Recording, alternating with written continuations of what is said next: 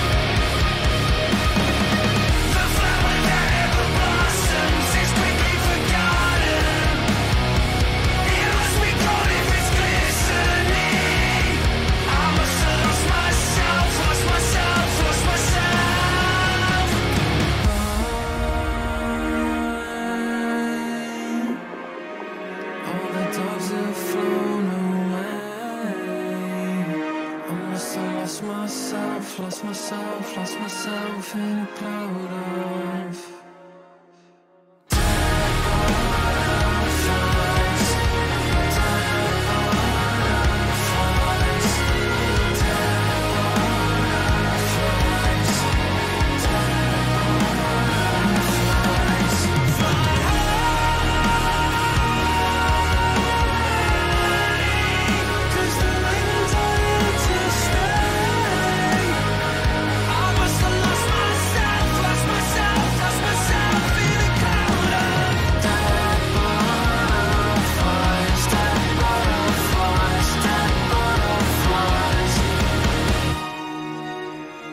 Dead Butterflies. I'm surprised we're still live on YouTube. Recording this reaction uh, uh, while doing a live stream live on YouTube on Friday, uh, doing reactions, which is a very risky move because anytime that stream could have issues uh, due to copyright. But hey, uh, your captain has navigated this uh, this this uh, turbulence very well. Okay, surprisingly, we're just under the radar, man.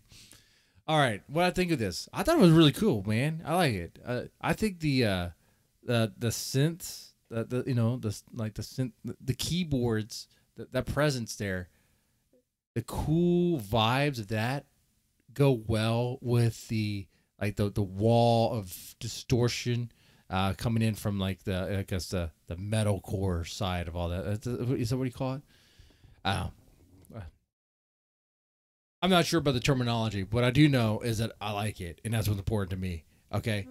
Um.